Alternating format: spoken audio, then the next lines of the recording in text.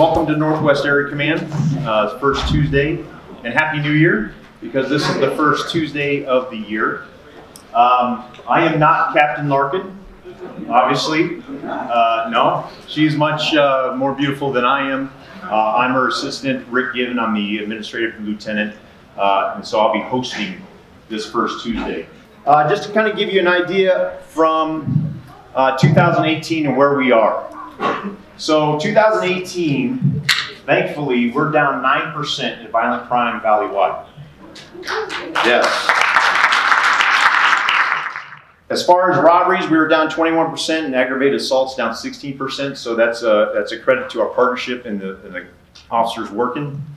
Why burglary this part of the month? Well, we were actually up in burglaries in 2018.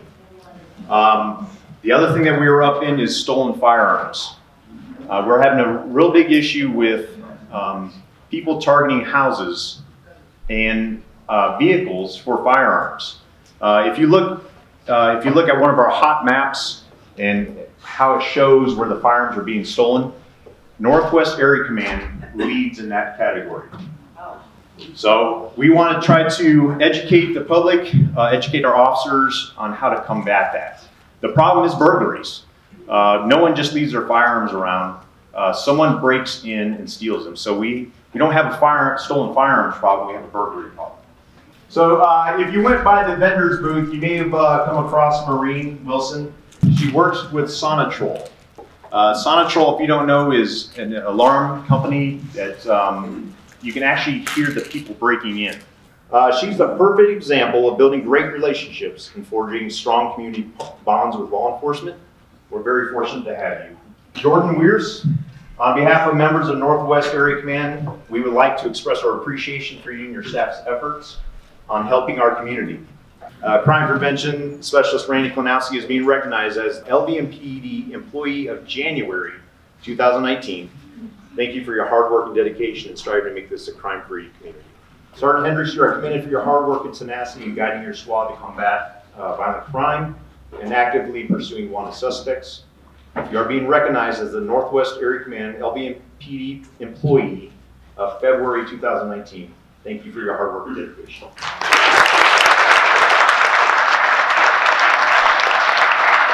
So what is tonight about? Tonight's really about helping you guys to help yourselves before the criminals help themselves to your belongings and violate your privacy.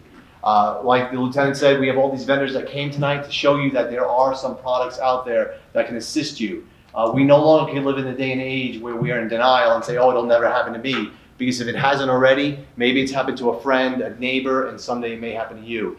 Technology has come a great way. It's come down in cost where there's a lot of things that you can do to help uh, protect yourselves that we're going to go through during the presentation. That is something that everybody in this room can do. And you can go to any home improvement store, buy a bag of three to four inch length screws for under 10 bucks and change it out. By doing that alone, you'll strengthen your door frame up to three to five times. But sometimes they'll go around to the back, and if you have a sliding patio door, those are vulnerable as well. So we recommend uh, adding secondary locks to those as well. There's a variety out there. There's the Charlie bar, there's the tension model in there. You can use a broomstick in that sliding track. Uh, but you want to put a secondary lock in there. All right. So when it comes to windows, just like the doors, we recommend having secondary locks on all your windows.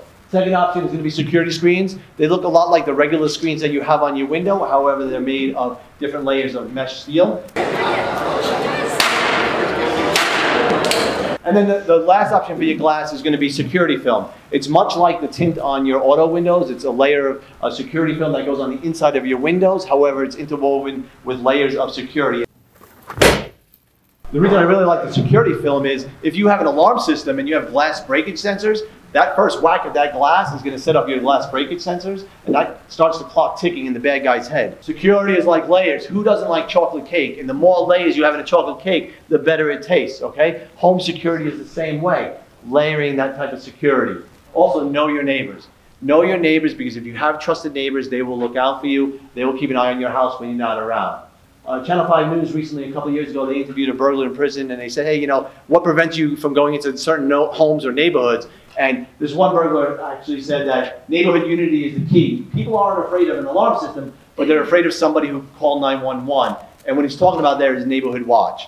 we're here to talk about residential burglaries, but we find that there's a lot of auto burglaries as well, okay? And a lot of our guns are stolen out of uh, burglaries of vehicles. So we want to make sure that, hey, if you're going to drive it, make sure you protect it, okay? Use the lock, take, hide principles, which is to lock your car, take your keys, hide your belongings, don't leave anything visible in there that may invite somebody to in there, and please do not ever leave a firearm unsecured in your vehicle, okay? It happens more than you think.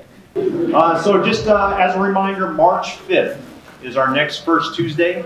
Uh, Randy actually pushes it out on our social media. Please follow us on Twitter, Facebook, Instagram, and Nextdoor. Thank you. Have a safe night. Thank you.